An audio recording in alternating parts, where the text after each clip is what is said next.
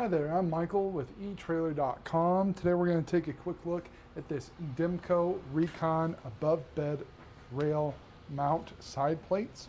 Now these side plates are going to attach to your Demco Recon uh, 21,000 pound manual slide fifth wheel trailer hitch.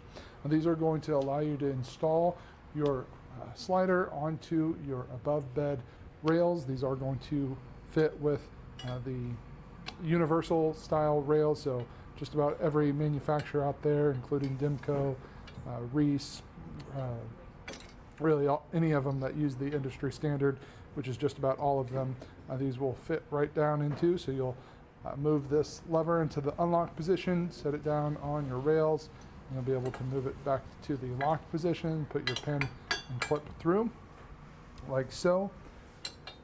Th these are made here in the USA of a sturdy steel construction. You can see they have a black powder coat on them to help resist rust and corrosion. They will match with your Recon, so it'll give you a, a full integrated look.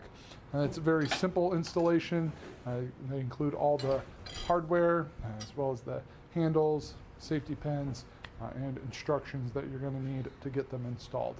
Uh, so if you are, if you do already have the Recon, uh, maybe it was for a uh, factory puck system and you're switching over to a different vehicle with the above bed rails, this is going to be exactly what you need so that you can still use your Recon with the above bed rails. And that completes our look for today. Again, I'm Michael with eTrailer.com. Thanks for watching.